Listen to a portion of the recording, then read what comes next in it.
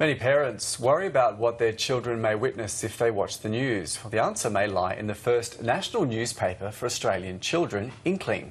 The paper will launch in April and aims to help teens and young kids understand world events. For more, we're joined by the newspaper's editor, Saffron Howden.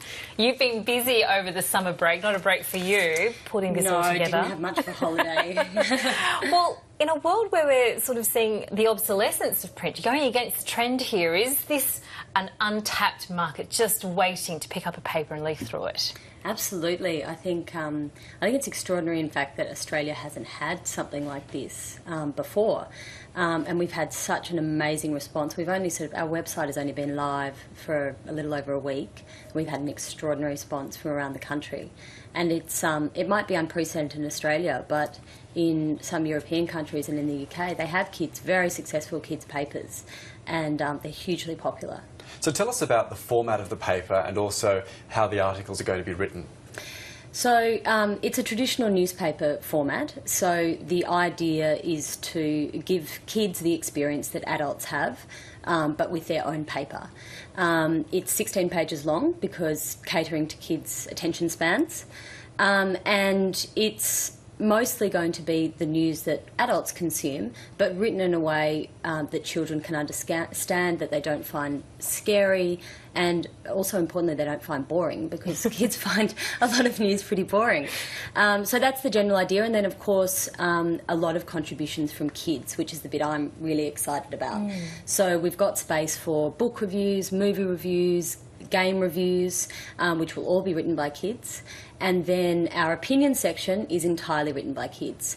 So in our display edition, which we've got out now, um, we've got a couple of articles by a 13 and a 14 year old. They were given no instructions as to what to do. Just tell me, write about something you're passionate about.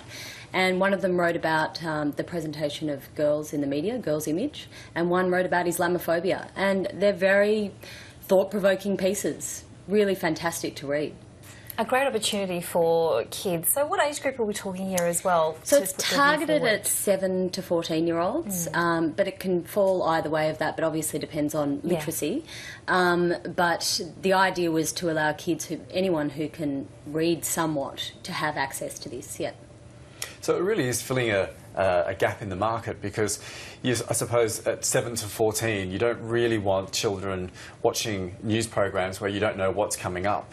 At least this is targeted. You've got still the same news because it is real news, isn't it? Absolutely, yeah, yeah.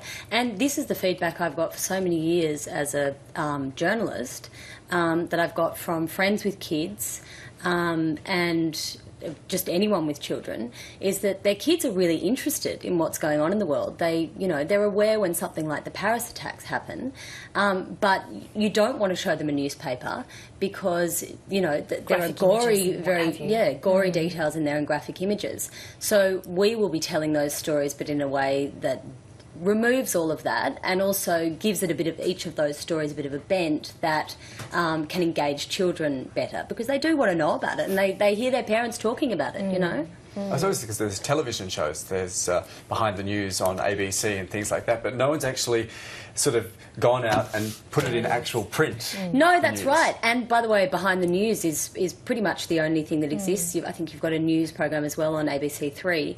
Um, and Behind the News is dearly loved by everyone.